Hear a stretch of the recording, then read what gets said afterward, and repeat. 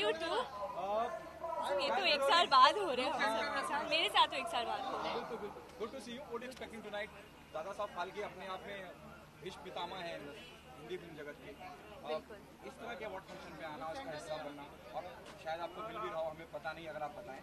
बहुत बड़ी सौभाग्य की बात है कि मुझे यहाँ पे बुलाया गया है and they honoring me with an award tonight so just feeling very humbled and grateful and thankful to everyone who's considered me worthy of this मेरी फ़िल्म गिल्टी के लिए मुझे अवार्ड मिल रहा है।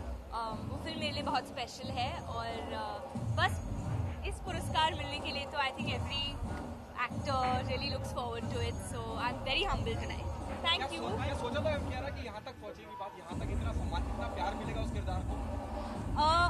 ऑब्वियसली ड्रीम्स तो सबके होते हैं कि यू रीच दैट स्टेज और uh, I think hard work is what eventually the audience ends up liking and that's what really resonates with them तो हो गया तो बस भगवान की कृपा से।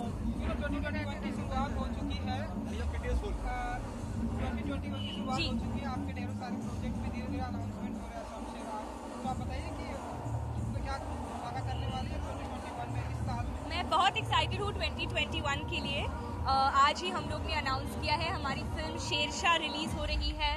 सेकेंड जुलाई को बहुत मेहनत से ये फ़िल्म बनाई है तो फाइनली दर्शकों तक पहुंचाएँगे और this year we starting shoot with Bhool Bhulaiyaa two which was the last film also that we were shooting before the pandemic तो finally excited to go back on set and make a good film और uh, जो भी film release होगी hopefully this year we'll get to know more in that will happen lockdown and pandemic से just हम अभी बाहर आए हैं अप्लाई की सर ऐसी कोई एक्टिविटी लॉकडाउन के दौरान जो कियारा जी ने सीखी अगर आप बताना चाहें आई थिंक बहुत कुछ सीखा है हम सभी ने। आई थिंक कुकिंग में थोड़ा सा I can tap my back now because kitchen में मुझे मतलब रसोई में कुछ भी बना सकती हूँ। क्या ड्यूटी होती है जिस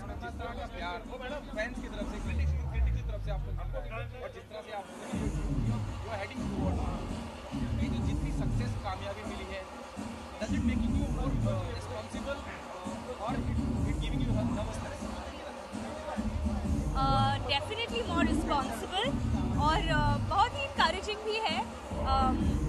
I think it's it's very motivating जब ऑडियंस और क्रिटिक्स दोनों से इतना प्यार मिलता है.